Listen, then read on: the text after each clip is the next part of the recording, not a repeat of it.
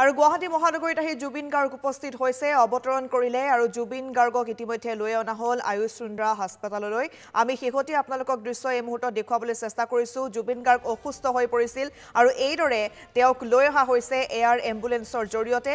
জুবিন গাৰ্গে নিজে কৈছিল তেওঁ ডিব্ৰুগড়ৰ পৰা গুৱাহাটীলৈ আহিব বিচাৰিছে আৰু গুৱাহাটীত তেওঁক এতিয়া পৰৱৰ্তী চিকিৎসা প্ৰদান কৰা হ'ব। অৱতৰণ কৰিলে জুবিন জুবিন গাৰ্গে আৰু জুবিনক কঢ়িয়াই অনা হৈছে এয়াৰ এম্বুলেঞ্চেৰে আমি দেখুৱাইছোঁ এয়াৰপৰ্টৰ পৰা এইদৰে জুবিন গাৰ্গক লৈ অনা হৈছে আৰু বৰ্তমান তেওঁক চিকিৎসালয়ত ভৰ্তি কৰোৱা হৈছে আৰু তেওঁ ইতিমধ্যে আহি উপস্থিত হৈছে গুৱাহাটী মহানগৰীত। ডিব্ৰুগড়ত ডিব্ৰুগড়ৰ পৰা তেওঁক লৈ অহা হৈছে চাৰ্টাৰ্ড বিমানেৰে তেওঁক লৈ অহা হৈছে গুৱাহাটী মহানগৰীলৈ লৈ অহা হৈছে আৰু তাতেই তেওঁক পৰৱৰ্তী সময়ত চিকিৎসা প্ৰদান কৰা হ'ব। আৰু জুবিন গাৰ্গ হঠাৎ অসুস্থ হৈ পৰিছিল। তেওঁ মূৰত আঘাত পাইছিল আৰু আঘাত পোৱাৰ পাছতেই তেওঁক ডিব্ৰুগড়ত প্ৰাথমিক চিকিৎসা প্ৰদান কৰা হয়। চিকিৎসকে বৰ্তমান তেওঁক সুস্থিৰ বুলি ইতিমধ্যে উল্লেখ কৰিছে। তেওঁৰ পত্নীয়ে ইতিমধ্যে মন্তব্য কৰিছে এই সন্দৰ্ভত। আৰু আমি লাইভত যাব বিচাৰিছোঁ। দীপাংকৰ আছে।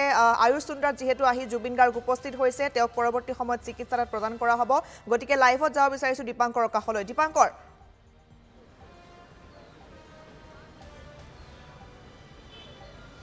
নিশ্চয় আৰু মাত্ৰ এক দুই মিনিটৰ ভিতৰত আহি জুবিন গাৰ্গ উপস্থিত হ'ব। আয়ুষ চন্দ্ৰ হস্পিটেলৰ বৰ্তমান সম্পূৰ্ণ পথছো আমি দেখুৱাইছোঁ বিনয়ে দেখুৱাই আছে। আৰু যিহেতু চিকিৎসকে বাৰম্বাৰ কৈছে যে জুবিন গাৰ্গ কিছু সুস্থ হৈছে কিন্তু পুনৰবাৰ তেওঁৰ স্বাস্থ্যৰ খাতিৰত তেওঁক পুনৰবাৰ বিভিন্ন পৰীক্ষাসমূহ কৰা হ'ব পুনৰবাৰ তেওঁক চিকিৎসাধীন কৰা হ'ব আয়ুষ চন্দ্ৰ হস্পিটেলত। আৰু সুদূৰ ডিব্ৰুগড়ৰ সঞ্জীৱানী নাৰ্ছিং হোমৰ পৰা ছুপাৰ স্পেচিয়েলিটি হস্পিটেল আয়ুষ চন্দ্ৰলৈ এই যি যি যাত্ৰা তেওঁৰ খুব বেছি হয়তো চোৱা যায় তেতিয়াহ'লে দুঘণ্টা। গতিকে দুঘণ্টা যাত্ৰাৰ পিছত তেওঁক ৰাতিপুৱা যিসমূহ পৰীক্ষা কৰা হৈছিল স্বাস্থ্যৰ সেইসমূহ পৰীক্ষা পুনৰবাৰ কৰা হ'ব। মূৰত পাঁচটাকৈ তেওঁৰ চিলাই লোৱা আছিলে। তেওঁ বাৰম্বাৰ কিছু তেজৰ যি অসুস্থতা তেওঁ অনুভৱ কৰিছে নিউৰলজি হওক বা এনেষ্টেচিয়াৰ যিসমূহ স্পেচিয়েলিষ্ট ডক্টৰ থাকে সেই ডক্টৰসমূহ বৰ্তমান তেওঁৰ লগতে আছে। গতিকে তেওঁৰ পৰিয়াল যিহেতু তেওঁৰ লগত আছে অনুৰাগীসকলে তেওঁ বৰ্তমান লগত লৈ বৰ্তমান আয়ুষ চন্দ্ৰ হস্পিটেললৈ আহি আছে। গতিকে তাৰ পৰিৱেশসমূহ হয়তো দৰ্শকসকলে দেখিবলৈ সক্ষম মাত্ৰ এটা বা দুটা মিনিটৰ ভিতৰতে কিন্তু আহি আয়ুষ চন্দ্ৰ হস্পিটেলত উপস্থিত হ'ব। গতিকে আয়ুষ চন্দ্ৰ হস্পিটেলত প্ৰৱেশ কৰাৰ ক্ষেত্ৰত মুঠ চাৰিখনকৈ গেট আছে।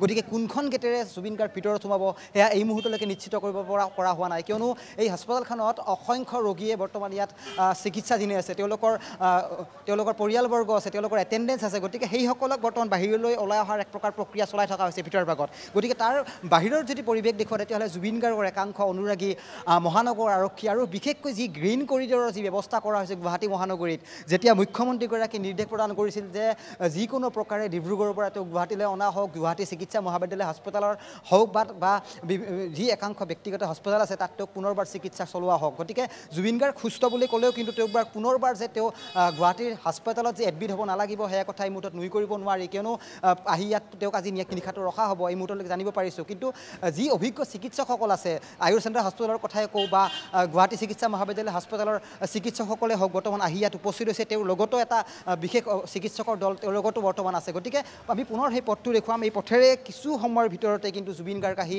আয়ুষ চেণ্টাৰ হস্পিটেলত উপস্থিত হ'ব। তেওঁৰ যি বিজি চিডিউল সেই চিডিউলসমূহ ত্যাগ কৰাৰ ক্ষেত্ৰত অনুৰাগীসকলে বাৰম্বাৰ তেওঁক অনুৰোধ কৰি আছিল যে আপুনি কিছু শৰীৰটোক কিছু জিৰণি দিয়ক। কিয়নো তেওঁৰ যি বিজি তেওঁৰ যি ব্যস্ততাপূৰ্ণ যি জীৱন সেই জীৱনৰ পৰা তেওঁক আঁতৰি আহিবলৈ বাৰম্বাৰ তেওঁৰ পৰিয়ালবৰ্গই হওক বা অনুৰাগীসকলে হওক বাৰম্বাৰ তেওঁলোকে আহ্বান জনাই আছিল। কিন্তু তাৰ পিছতো কিন্তু জুবিন গাৰ্গৰ যি ব্যস্ততাৰ যি তেওঁৰ কাৰ্যসূচী সেয়া কিন্তু দুটা দিন ধৰি কিন্তু দেখিবলৈ পুনৰবাৰ পোৱা গ'ল। কঠীয়াদৰা যি এটা বিশেষ এলবামৰ এটা গীত তেওঁৰ চিত্ৰগ্ৰহণৰ অনুষ্ঠান চলি আছিল তাৰ লগে লগে চিকাৰ নামৰ আন এখন অসমীয়া বোলছবিত তেওঁ চিত্ৰগ্ৰহণ কৰি আছিলে। তাৰ লগে লগে জনাইত এটা সংগীতানুষ্ঠানত তেওঁ অংশগ্ৰহণ কৰাৰ সময়তে যোৱাকালি বিয়লিৰ ভাগত ডিব্ৰুগড়ৰ এখন ৰিজৰ্টত আহি তেওঁ নিশা গীত পৰিৱেশন কৰাৰ কথা আছিলে। আৰু সেই ৰিজৰ্টৰ ভিতৰতে তেওঁ বাথৰুমত পিছলি পৰে আৰু যাৰ ফলত তেওঁ মূৰত পাঁচটাকৈ চিলাই ল'বলগীয়া হ'ল। এনেকুৱা ধৰণৰ এক পৰিৱেশ হৈ পৰিছে।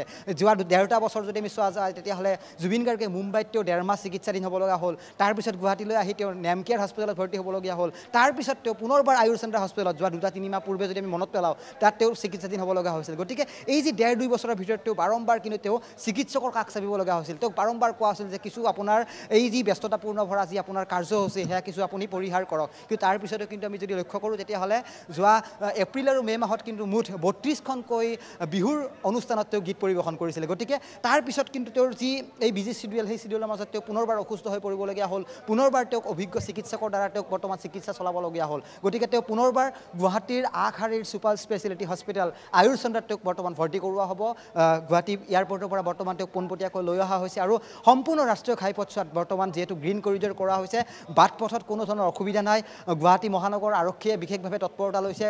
গুৱাহাটীৰ ট্ৰেফিক ডি চি পিগৰাকীয়ে সম্পূৰ্ণ বিষয়টোত নেতৃত্ব লৈছে। গতিকে যিকোনো মুহূৰ্তত আয়ুৰ চেণ্টাৰ হস্পিটেলত অংকিতা প্ৰৱেশ কৰিব পংখী প্ৰৱেশ কৰিব তাৰ দৃশ্যসমূহ দেখুৱাম। আৰু এই মুহূৰ্তত আমি সেই যি পথছোৱাৰে জুবিন গাৰ্গৰ এম্বুলেঞ্চ আহিব সেই পথছোৱা বৰ্তমান আমি দৰ্শকসকলক আমি দেখুৱাই গৈছোঁ। আৰু সেই কেমেৰা লেন্সতে বন্দী হ'ব জুবিন গাৰ্গ অহা সেই বিশেষ এম্বুলেঞ্চখন অংকিতা। হয় দীপাংকৰ আৰু এটা কথা এইখিনিতে ক'ব লাগিব। কাৰণ জুবিন গাৰ্গক লৈ অসমৰ মানুহ তেওঁৰ অনুৰাগী সদায় আৱেগিক। আৰু জুবিন গাৰ্গৰ সুস্বাস্থ্য সদায় সকলোৱে কামনা কৰে। আৰু এইটো খবৰ বিয়পি পৰাৰ লগে লগেই আজি পুৱাৰে পৰা দেখিবলৈ পাইছিলোঁ যে অজস্ৰ অনুৰাগীয়ে তেওঁক ছ'চিয়েল মিডিয়াতে হওক বা বিভিন্ন মাধ্যমেৰে তেওঁৰ সুস্বাস্থ্য কামনা কৰিছে। আৰু বৰ্তমান আমি দেখিছোঁ যে শ শ অনুৰাগী আহিছে। কাৰণ চিকিৎসালয়ত তেওঁলোকে ভৰ্তি কৰা আমি দেখিবলৈ পাইছোঁ। ফোনটো কাটা গৈছে দেখোন?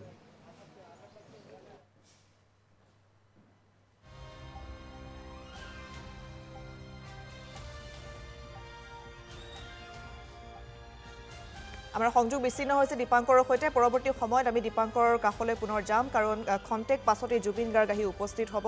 আয়ুষ চন্দ্ৰা হস্পিটেলত তেওঁক চিকিৎসা প্ৰদান কৰা হ'ব। আৰু ডিব্ৰুগড়ত যি ঘটনা সংঘটিত হ'ল তাক লৈ আচলতে অসমৰ ৰাইজে জুবিন গাৰ্গৰ সুস্বাস্থ্য পুনৰ কামনা কৰিছে কি এক প্ৰায় এক বছৰ পূৰ্বে এনেকুৱা এটা ঘটনা সংঘটিত হৈছিল য'ত জুবিন গাৰ্গ কিছু অসুস্থ হৈ পৰিছিল।